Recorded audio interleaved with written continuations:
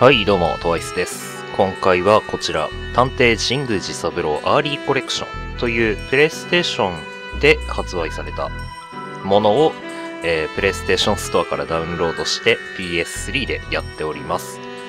えー、探偵神宮寺三郎というのは、まあ、初代ファミリーコンピューター、いわゆるファミコンの時代に発売された、こちら、えっ、ー、と、探偵神宮寺三郎新宿中央公園前殺人事件から、えー、2作目の横浜港連続殺人事件、3作目危険な二人前編後編、そして時の過ぎゆくままに、この4作を、えー、収録したソフト、プラスおまけというソフトになっております。まあ、あのー推理物のアドベンチャーゲームっていうのは今まで全く触ったことがなかったので、まあ、ちょっと興味が出まして、やってみようと思いました。ので、まあ、今回はこちらの、えー、新宿中央公園殺人事件からやっていきたいと思います。ではゲーム画面に行きましょう。一応詰まったらこちらの操作ノートやヘルプなどは、まあ、に使っていきたいと思います。こちらも、あの、軽く覗かせていただいたんですけど、結構面白い仕組みになってますので、まあ、もし詰まったら見ていきたいと思います。では、スタート。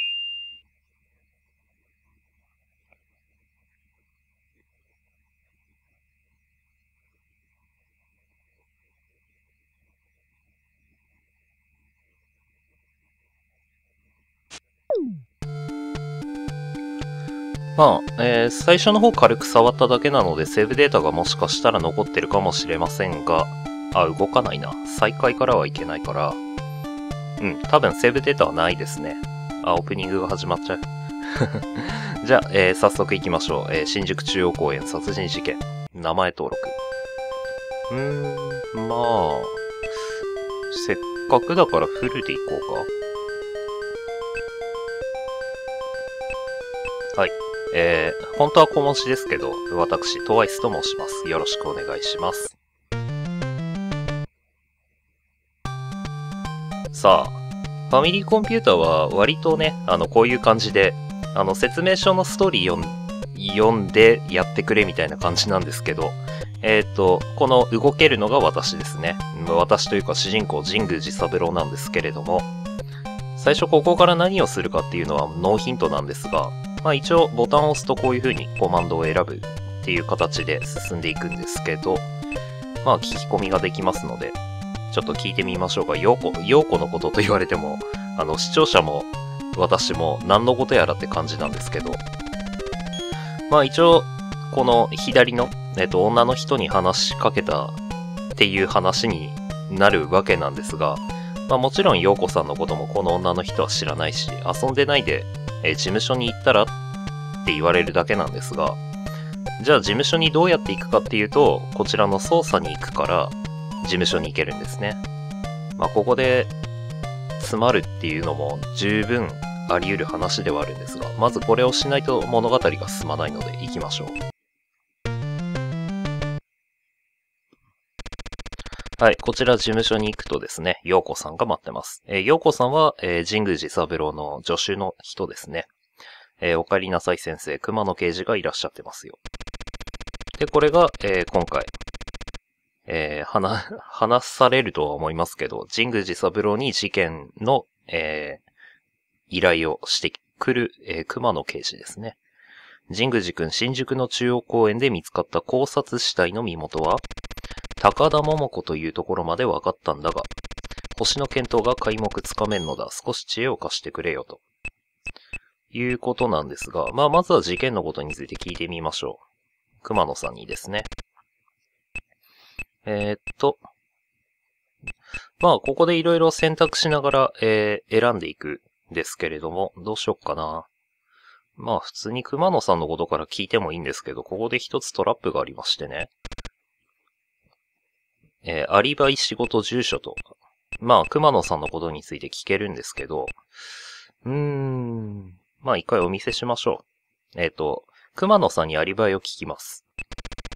ば、バカモン、わしを疑ってどうするんだもう頼まん。熊野刑事は怒って帰ってしまった。これであなたの捜査も打ち切りです。うーん、まあ、セーブはしなくていいか。っていうことね、っていう風にですね、まあ、思わぬところにトラップがありますので、気をつけなきゃいけないというところですね。まあ、ゲームオーバーがあるっていうのは一作目だけらしいんですけど、まあ、とりあえず、ね、進んでいきましょう。さっきのとこまで戻ります。はい、戻ってまいりました。じゃあ、真面目に聞き込みしていきましょう。まあ、いろいろコマンドはあるんですけど、とりあえず、えっ、と、地道な聞き込みによって、事件を解決に導く、硬派なアドベンチャーゲームとなっております。じゃあ行きましょう。えー、熊野さんにですね、まあ、熊野さんの基本プロフィールとかも一応見ていきましょうか。熊野さんの仕事は、ヨドバシ署の刑事です。まあ、東京の新宿が舞台ですからね。確か、えっ、と、神宮寺三郎の事務所も新宿にあったはずです。えっ、とね、まあ、とりあえずこの、何かの間違いでアリバイ聞いちゃわないかっていうのはちょっと怖いんですけどね。えー熊野さんの住所は、まあ、知っとるだろうと教えてくれません。で、陽子さん、陽子さんはまだいいか。とりあえず事件の概要を見ていきましょうか。まあ、陽子さんは隣にいるので、教えてくれません。被害者、桃子のことですね。えー高田桃子21歳、新宿のバーイーストの人気ホステス、この事件の被害者だ。彼女の死体は公園の芝生を剥がした土の上に捨てられていた。死因は紐のようなものによる考察。死亡推定時刻は12日の23時から13日の、0時30分までの間。発見されたのは6時30分頃。身元を示すものがなかったので身元の判明に手間取ったが友人の大塚恵子からの捜索願いの特徴と一致するので確認してもらい被害者が桃子に違いないことが分かったとちょっとカットしますはいすいませんえー、っとですね手元にメモ帳を用意してなかったので 一応こういうの重要な情報なのでメモりながらやっていきたいなっていうところですねそういえばメモ見るでメ見れるのかな？あー。あ、ちゃんと確認できるんだ。じゃあ確認できるものに関しては、自力メモはあんまりいらないのかな？じゃあまあ、さらにちょっと聞いていきましょうか。バーイーストっていう名前が出たんで、まあ、そこには行くべきなんでしょうけど、えー情報をくれた恵子のことは？えー大塚恵子24歳、桃子の友人で同じバーイーストのホステス。12日の夜、桃子に相談があるので私のマンションに明日来てほしいと頼まれている。これは一応メモった方がいいのか？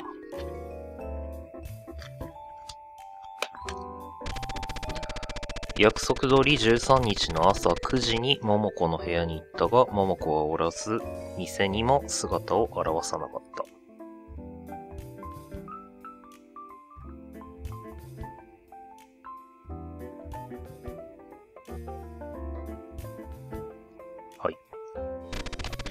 そこで心配になった恵子は14日の朝になって警察に届けたと。これ自力でメモしていくとあれですね。だいぶ時間がかかりそうですね。14日、えー、捜索願い。はい。で、あとは、日付は教えてくれません。気づいたこと。うーん、そういえば、桃子が誰かに恨まれるようなことは考えられないと店のみんなが証言していた。動機が恨みじゃないということは一体何が原因なのか。うん、なるほど。えー、っと、どう書けばいいんでしょうね。人当たりはいいでいいのかな。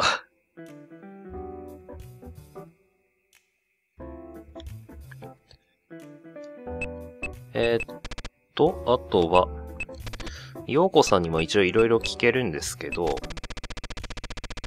そう、いるんですよ、熊野刑事は。陽子さんね。まあ一応別に陽子さんにアリバイは聞いてもいいんですけど。12日の夜は先生と食事をしたじゃありませんかと。うん。二人で食事に行ってたんだね。うん。で、まあ、洋子さんは、あの、助手なんですけど、基本的には、えっ、と、隣にいてもお話を聞いていないというね、悲しいところがあるんですけれども、洋子さんはですね、日付を教えてくれます。今日は15日ですと。まあ、これ結構重要ですよね。えーっと、ちなみになんですけど、えーこの操作期日がありまして、えー30日までに事件を解決できなければゲームオーバーになるんですけれども、えーっとですね、確か操作やめるっていうのが、そう、あのーコマンドが、えー右のページ、左のページと2ページになってるんですが、右の方のページにも、えーコマンドがありまして、えここに操作やめるというのがあるんですが、これを選ぶことによって、えセーブができます。ただし、え再開すると、ゲーム内時間で1日経ってしまいます。で、えー特定の日にしか起こり、起こらないイベントがあるそうなので、それを逃してしまうと、まあゲームオーバー直結っていう罪があるんですよ。なので、まあその辺は、えー注意しながら、えー進めていきたいと思います。さあどうしようか。じゃあ今回はですね、普通に操作に行きましょうか、じゃあ。バーイースト。はい、バーイストにやってきました。えーこの人が大塚恵子ですね。いろいろ聞いていきましょう。うーん、まあ、熊野刑事のこととか、陽子さんのことは聞かなくていいので、まあ、被害者についてですね。えー、ももちゃんが人から恨みを買うなんて考えられないが、うん。で、ちなみにあなたは何をしてたのかな ?12 日はももちゃんと入れ違いでお店に来て、そのままお店にいたわ。13日の2時くらいまで。えー、っと、大塚さんは12日はずっと働いてたってことですね。えー、13日の朝2時まで。仕事。はい。ああ、移動はまだしなくていいや。えー、っと、一応まあ、仕事はこのお店のホステスですよね。住所は、荻窪のアパートと。まあ一応知っといて損はないか。あたりの人は？あたりの人っていうのはまあお客さんとかその他従業員のことだと思うんですけど。えー、っとね、ももこさんは、ここだけの話だけど、店長の代々木さんはももこにかなり借金があったらしいぜ。うん。新しいキャラですね。うん、ちっちゃいメモ帳なんでね、あの、1ページに1人ずつ情報を書いてるんですけど、なんかね、多分追いつかないと思う。代々木さんは何歳かはわからないけど、えー、っとね、店長。で、うーん、ももこから借金。店長なのに従業員から借金借りるってどういうことなんだろう。えー、っとね。あとは稽古のこと。稽古ならそこにいるじゃないか。そうだね。あとは代々木のこと。社長ならそこにいるじゃないか。うん。店長、社長。まあいいか。一応、稽古さんに先に代々木さんのこと聞いてみましょうか。店長ですか？確か12日に私がお店に来た21時頃にはもういなかったんじゃないかな。うん。えっ、と、代々木さん12日は、えー、21時から、ん ?21 時までは仕事か。はい。あ、今更ですけど、えーこのゲーム BGM が基本的にないので、えー編集の時にもしかしたら付け足してるかもしれませんが、よろしくお願いします。えっとね、で、こっから代々木さんに話を聞きたいんだけど、その場合は呼ぶが使えたはず。あですね。はい、代々木がやってきました。遅いですね。えっと、桃子のこと。桃子のことはあまり詳しく知らないよ。忙しいんだから帰ってくれませんか？うーん、人当たりが悪い。稽古ならそこにいるじゃないか。そうだね。えー、っと。じゃああなたのこと。えー、アリバイ。12日は店を早く出て知り合いのところに行ったよ。誰と言おうか、うん、誰と会おうと勝手じゃないか。はいはい。えー、21時まで仕事、その後、うーん、知人と会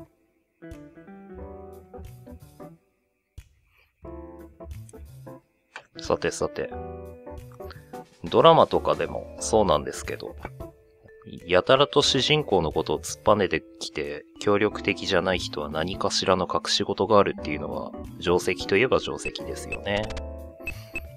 さて、日付とか気づいたことあら、そう。仕方ないな。恵子さんに気づいたこと聞いたっけ？そういえば、ももちゃんは最近柏木さんがお店に来ないって心配していたわ。ほう。うーんと、一応柏木で登録し、登録というか書いておこう。柏木。うーん。年齢とかわかんないな。職業もわからないね。えー、っとね、最近、バイストに来ない。はい。じゃあ、けいこちゃんに、柏木さんのこと。新宿にいくつも土地を持っている人で、ももちゃんを気に入ってとっても親切にしてくれてたの。